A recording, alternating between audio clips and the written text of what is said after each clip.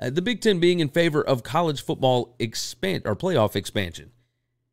Now, eh, okay. Like I think that we all knew that everybody, for the most part, wanted college football playoff expansion. And Kevin Warren coming out and saying, I'm 100% supportive of college football playoff expansion kind of cracks me up, considering the alliance were the ones that did not want expand or did not vote for expansion. Right? When all of this stuff got done with Greg Sankey and Bob Bowlesby and Craig Thompson, etc., they oh Jack Swarbrick from Notre Dame, they had a plan. And we have discussed this ad nauseum on this show. But their plan was for all of these teams to go into a pot, and the six highest ranked conference champions would get those automatic qualifying bids. And then you've got six at large bids. And everybody voted against it when Texas and Oklahoma announced, or not announced, but when it was reported that they were joining the SEC. When everybody freaked out about the initial conference realignment, that's when everybody should have immediately jumped in and said, yeah, we need to grab hold of these AQ bids. And the Big 12 did. They voted in favor of it.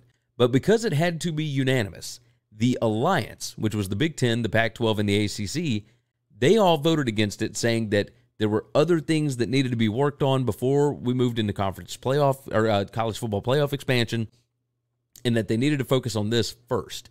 Now, the deal is up after 2025 this immediately lets me know that this was not for the betterment of college football.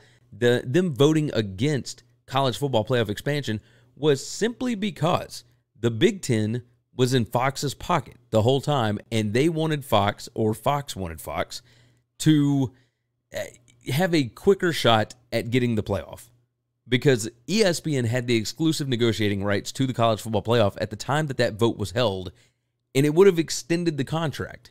Now, we did discuss at some point that the contract, you could have already expanded it starting in 2023 or 2024 or whatever, and then maybe taken it back to market after that. But ESPN would have started with it and then would have probably liked another couple of years at least tagged onto it so that you could continue with ESPN as the lone college football playoff broadcaster. They would have paid handsomely for all of those games because they were the exclusive negotiating partner. They had the rights at that point. To help the sport of college football, I believe that would have been better. That would have been better overall to go ahead and get the playoffs set up in that fashion because we've seen in this sport, once you give something, it rarely ever goes away. So once you set a precedent of we're going to have a 12 team playoff and the top six conference champions get in, that would have made more sense.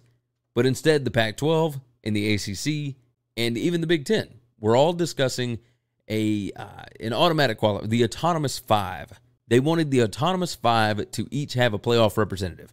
And now I don't know that you were going to get that. While Kevin Warren did say he's 100% supportive of college football, uh, Kevin Warren did say he feels strongly that the college football playoff should have multiple media partners when it expands. It's Fox. It's all Fox. I mean, it's just ridiculous. So, yeah, it's it's irritating to see it because this was all done with TV networks involved and in mind. But it's not necessarily better for the sport of college football overall. That is the most frustrating part of this is you knew that that's not why they were voting against playoff expansion. It was not because it was something that needed to be fixed in college football before we moved to that. All it became part of was exactly what Kevin Warren said. He feels strongly that the CFP should have multiple media partners when it expands. That's it. That's the whole shebang. That lets you know. And I, will tell you, I have never seen a conference so completely wrapped up inside of a television network like I understand that Fox is giving them a lot of money. I, I get that. But it's it's never been solely about the one TV partner. Even with the SEC, they made moves that were making sense logistically, geographically, etc. With the Big 10, this is all just Fox moves. And that's what that's what's weird about this. And yeah, it's it's showing us what the future of college football will be. Uh, it's one television network against another, over and over and over again.